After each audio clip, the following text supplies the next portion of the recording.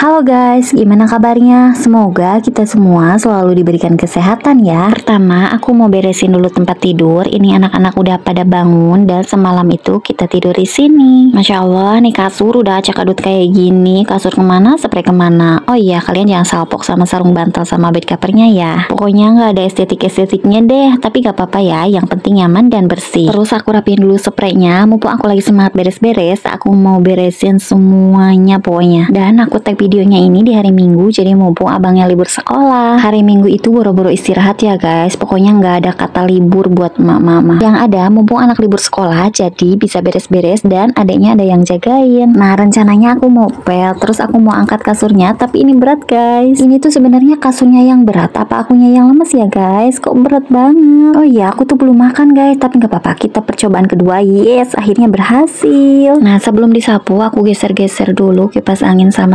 sonnya Nah, karena pojokan ini sempit, susah disapunya, alhasil banyak banget debunya. Bener-bener ya, di setiap sudut itu selalu ada debunya. Bisa nggak sih diganti setiap sudut itu ada duitnya? Duit mulu ya kamu tuh pikirannya. Kadang aku tuh suka heran ya, nggak tahu dari mana datangnya debu-debu ini. Jangan lupa bawah lemarinya juga disapu-sapu ya, takut ada harta karun tuh kan. Banyak banget harta karunnya guys. Padahal aku tuh hampir setiap hari nyapu rumah, tapi banyak aja debunya. Kebetulan hari ini aku lagi semangat banget buat beres-beres beres. Tapi kalau pas lagi males beres-beres Pasti aku cuma nyapu aja. Gak abdo rasanya kalau beres-beres itu gak dipel. Berasa ada yang kurang aja gitu. Sebenarnya kepala tuh udah pusing banget ngeliat yang berantakan. Tapi aku juga gak mau maksain badan aku buat capek-capek. Karena kalau kita punya anak kecil itu Kita juga perlu menjaga kewarasan ya guys. Jadi kerjaan apa pun itu gak mau terlalu maksain ya guys. Apalagi ini kerjaan rumah yang gak ada beres-beresnya dan gak ada ujungnya. Kalau udah capek ya udah berhenti istirahat dulu nanti kalau udah nggak capek baru deh lanjut lagi. Nah kalau aku nyapu rumah biasanya kan lewat pintu depan ya guys. Kali ini aku mau nyapunya lewat pintu dapur karena ini tuh sampahnya banyak banget guys. Tuh kalian bisa lihat sendiri ya. Nah ini tuh baru nyapu ruang TV sama kamar ya guys. Jadi kayaknya videonya itu kepanjangan. Jadi aku bakal bikin beberapa video karena aku takut kalian bosan juga nontonnya. Nah lihat ini tuh sampahnya banyak banget. Nah ini ada lap juga bekas ngelap air tumpah. Oh ya kalian jangan salpok sama dapur